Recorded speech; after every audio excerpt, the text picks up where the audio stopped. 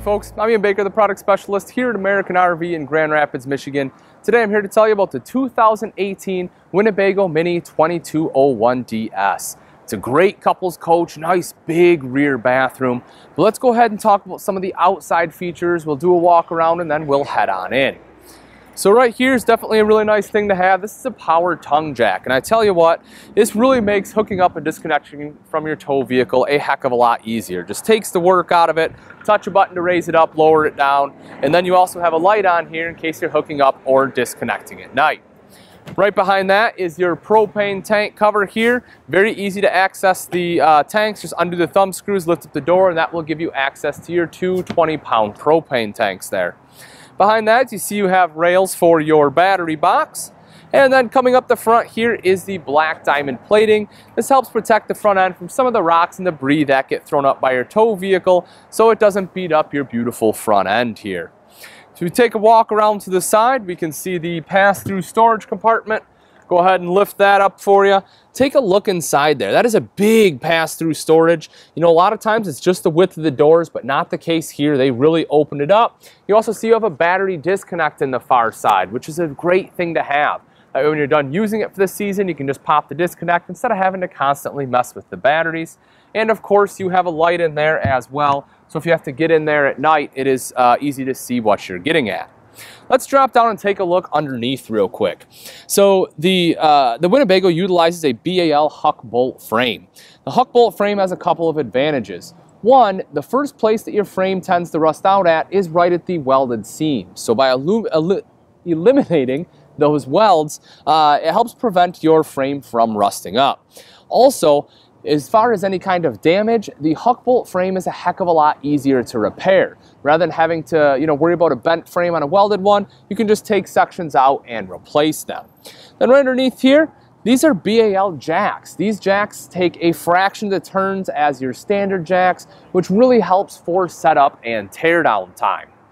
Now, while we're talking about construction, take a look at the sidewalls here. These are absolutely gorgeous sidewalls, one of the best in the towable industry. Winnebago uses a T60 fiberglass, and that is a true poured gel coat exterior. The T60 fiberglass comes in a sheet rather than a roll, so you know that it's uh, nice and strong, and you don't see the ripples in here. You don't see the fibers like you do in your standard Lamilux exterior. Plus with that high, that true poured high gloss there, uh, you can see the shine, you can see the luster. It's very similar to how they make a boat hull, and you can actually buff this and it will keep that shine and luster for the life of the RV. You can see the big power awning on here. That spans pretty much the entire length of this RV. Just touch a button to have that roll out, same thing to go right back in. And then you have an LED light strip there underneath. You'll also see two outside speakers. Now those are controlled by our multimedia center inside. However, uh, th that is Bluetooth capable. So if you want to sit out here underneath your awning and control those from your cell phone or tablet, you can certainly do that. Getting into the 2201 is nice and easy. You have three steps here. You can see the first one is nice and low. It's an easy step, so if you have bad knees, it's not going to be hard getting in here. Then you have the foldable easy grab handle as well, again to help you assist in and out of the coach. If you like to watch TV while you're sitting outside, do not worry. Directly underneath the center of the awning here is where your TV would go. They did put a backer here in the wall so you know exactly where to mount that TV bracket. And then your hookups are right here underneath. Now, of course, this is just your electrical outlet, so if you need to plug anything else in there, you can certainly do that, whether it's a cell phone, a crock pot, whatever it may be, uh, that is the place to plug it in. Right down below, you can see the wheels there. Uh, they are alloy wheels, so that way it's not going to rust on you, less chance for any kind of corrosion, and it just looks really nice. Also has nitrogen-filled tires. Now, we're to have to squeeze through here. It's a little tight. To bear with me. Uh, this slide is out, of course, so it's a little close. But right here is your outside kitchen. Now, this does slide out as well. I can un just undo this lock. This, of course, locks into place on both sides. You see a little bit of storage right up top here, which is cool. So we have a place you want to put, you know, some silverware out here, or maybe you have some uh, cups that you want to set out here. You can do that too. Two burner cooktop right there, so it's nice and easy to cook outside. And then you also have your faucet with your little wash basin there. Now this, of course, is connected to the propane quick connect that is right underneath. That way, uh, you don't have to get the little green bottles. You can feed off the two 20-pound bottles up front. Now this is probably the most commonly used thing of your outside kitchen, and that is the outside refrigerator. That way you have a place to put all your condiments as well as your beverages. If you come around to the back side here, a couple of quick things I want to point out. One, you'll see a ladder, a nice rear mounted ladder. That way if you need to climb up onto the fully walkable roof, you can do that. And again, it just takes up less room in your pass-through. You don't have to bring an extendable ladder or anything with you. Also mounted to the bumper is your spare tire. Uh, this does have a cover on here to help ensure it's in good shape. And it's nice on the uh, right back here because it's easy to get to. Now if you want to slide it one way or another so you can put like a bike rack or something on here, a rear mounted grill, you can do that too. It's easy enough to be able to slide that around. So we take a look at the off-door side, a couple things I want to point out. One, right here is your 30 amp detachable power cord. Outside shower here as well with both hot and cold access. I like the location of this because it is right above your termination. So when you're done doing your business there, if you want to wash your hands, you have access to the shower right there. You also have a black tank flush here. So rather than dragging a hose through your entire camper and then sticking that uh, hose down the toilet to help wash out the black tank, you can just go ahead and screw it in right there. Black tank has sprayers built in and it will do the rest for you. Last thing I want to talk about is this. This is your six gallon Atwood water heater. Uh, so a lot of people, you know, really had complaints with the on-demand water heater, so they have gone to your standard water heater, and I'm glad they went with Atwood because uh, a couple advantages of Atwood. I'll open this up for you, but one, you'll see right here they just have a plug. Most of your manufacturers have to have an anode rod in there to help fight off aggressive water, uh, but the plug here, uh, the nice thing about that, you don't have to have an anode rod. They use an aluminum tank so that way, uh, you know, again, it's not going to rust out at you. That water's not going to eat it up. And for winterization, you can still drain it out just as easy. Also, you'll see this little valve right here. You can open that up for different uh, elevation. Again, it's a great thing about the Atwood. So if you are camping at higher elevation, you can move that to allow more air in. And then this little module right here will ensure that if you do turn it on uh, electric and you don't have any water in there, it's not going to burn up your water heater elements. Welcome to the inside of the 2018 Winnebago Minnie 2201DS. This particular model is in the cobblestone interior. Let's start off right here on the kitchen. You'll see this unit does have a double bowl stainless steel sink and they give you sink top covers here uh, to help maximize the prep space. Same thing with your cooktop, you have a cover there so that way even though it's not a huge countertop you're able to use all of it as prep space. When I go ahead and lift the covers off, you can see your double bowl sink there. They're even bowls. And you have the high-rise faucet to help in uh, washing dishes. If you take a look right up front here, You'll see you have nice storage area. That's as soon as you walk in, you can use this. So it's a great place, you know, if you want to throw some shoes or something underneath there, uh, you know, it's a great place in order to do that.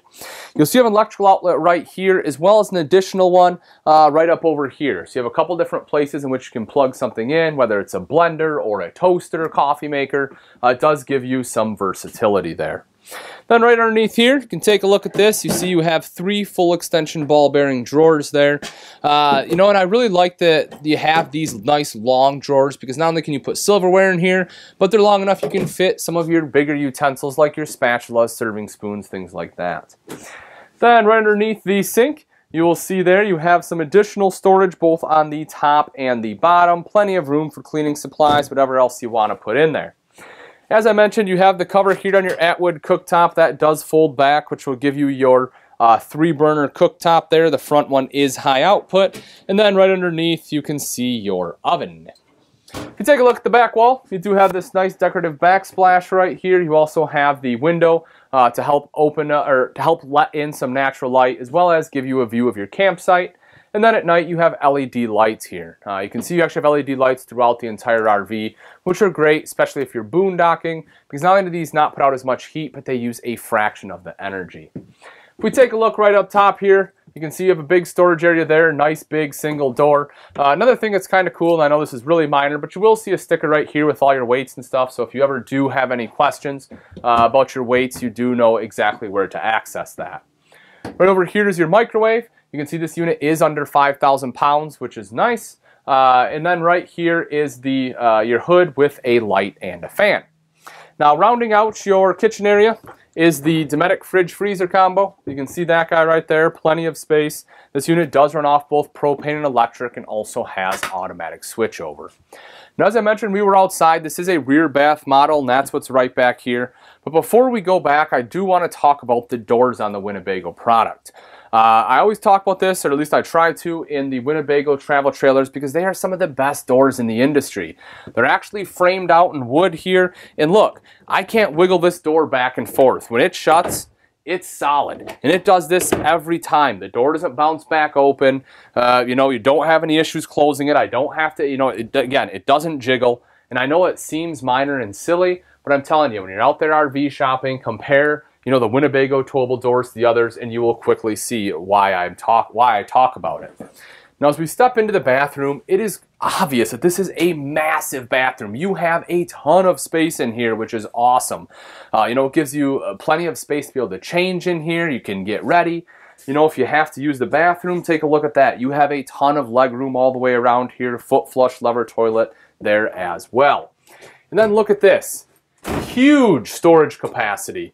You have a double hanging space in each one of these, so you know you can put an entire wardrobe back here. Again, this is probably where you'll change. You can see you have nice big shelves here, so if you want to you know use it, have this double as a linen closet, you have enough space to be able to put towels up here. You have additional space up here. Just an awesome bathroom storage space. You'll see your vent fan right up top here as well to help moisture quickly escape there. Of course, LED lights. Um, this is your Neo Angle shower. This, of course, is a travel lock. You can just go ahead and flip that guy down and away. This opens up. Uh, this is a magnetic door system, so when it shuts, it, it uh, the magnets, of course, hold it shut while you're showering. But then when you're done, you can open it up. The thing I like about this door and being in the roller track is that, uh, you know, when you're done showering, all the water from the door just goes right down into the shower pan versus like a swing door or a curtain where it tends to get all over the floor. In the shower there, you can see the hand wand as well as the skylight up top, which lets in some natural light, gives you additional headroom.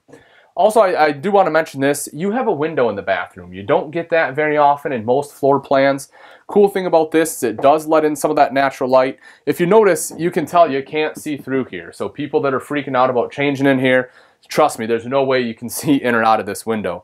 Uh, but again, you can open this up too for have a little bit of cross breeze come in here, especially if you open up the vent fan there. So move over here, you can see your uh, double door uh, medicine cabinet there, which is nice. That is mirrored. You have storage behind that there on both sides. You can see that. And then right down here, take a look at how much countertop space you have in the bathroom. So, you know, you have a spot for your hair dryer, your flat iron, your toothbrush, whatever it may be. You have plenty of room there. You have a place to plug those in stainless steel bowl, nice upgraded bowl. Again, something you don't see very often in travel trailer bathrooms. And then you have some additional storage right there underneath. As we come out of the bathroom, you can see right over here, this is your uh, entertainment space. So you have the TV here, multimedia center right up above. Uh, as I mentioned, we were outside. This multimedia center is Bluetooth capable. This is your radio, CD, and DVD player. So if you do want to watch a movie, you can pop it right in there. And it's a smart multimedia center. So if you are somewhere where um, you know you have internet access, you can access some of your more common apps using that as well. Then right up here, you can see a little bit of storage there. So if you have DVD collection or anything, you can go ahead and put that there.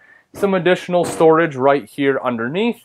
And then you'll notice right down in the corner there is an electrical outlet. So if you have uh, like a laptop or a tablet or something you want to work on, you can sit right here at the dinette and be able to plug that in there. But speaking of the dinette, this of course is your slide out on this coach. Nice big U-shaped dinette. Now this obviously is intended to be a couples coach, but I like the U-shaped dinette in here for a couple different reasons. One, it allows you to entertain. If you want to have family or friends over, you can sit around at the table, have a glass of wine, have dinner. Uh, if you want to play a game, you're able to do that as well. And if you have guests that want to spend the night, you can just take the legs out here, the table will sit along the rails, fill it in with cushions, and this will make a bed that is easily large enough to sleep two adults. You also have storage under all three cushions here, so if you want to utilize that, you can just lift the cushions up to get to it. You can see the nice leatherette seats here too, so it is a lot easier to clean there. Of course, windows all the way around which help let in the natural light. As we take a look at the very front here, you'll see you do have a privacy curtain, so you can close that off, again, especially if you have additional guests that are staying the night here. Uh, nice large walk around queen size bed. You can see that. Storage here underneath as well. You can see that is strut supported. And look how high this goes up. Now, I know this seems silly again, but you know, if uh, you're getting a little bit older, sometimes it's hard to bend down to reach underneath here, especially if it doesn't have struts and you're trying to hold this up at the same time. But having it go up this high really makes it easy to access anything that you want to store underneath. On both sides of the bed, you'll see you have a couple different storage areas. One side, you have the wardrobe. It's a little bit smaller, but again, you don't need a huge wardrobe here because you have the massive one in back. Underneath that, you can see you have a little uh, kind of like a nightstand there, as well as an electrical outlet for uh, cell phones, or if you have a CPAP machine, it gives you a place to plug it in. Right over here, you do have a big pull-out drawer, as well as, again, you know, you have your nightstand and an electrical outlet there. So, you know, this is probably a little better spot to put the CPAP, but you can put it on either side of the bed there. You can see you have a couple reading lights here, as well as the vent up top. And then right here, you have some additional storage going across the top there. Windows on both sides to allow for cross ventilation, especially if you open this guy up. Uh, now this unit does have ducted AC. You can see that unit right over here. So, you know, again, if you, if you want to run AC, if it's a really hot day, you can do that quite easily. But all right, folks, that wraps it up. Uh, again, this is a 2018 Winnebago Minnie 2201DS. This one has the platinum exterior with the cobblestone interior. If you're interested in this RV and you'd like price and availability, uh, I recommend you give us a call here at American RV, or you can take a look at our website, which is AmericanRV.com. Thanks again for watching. I'm Ian Baker, and I can't wait to see you on the road to freedom.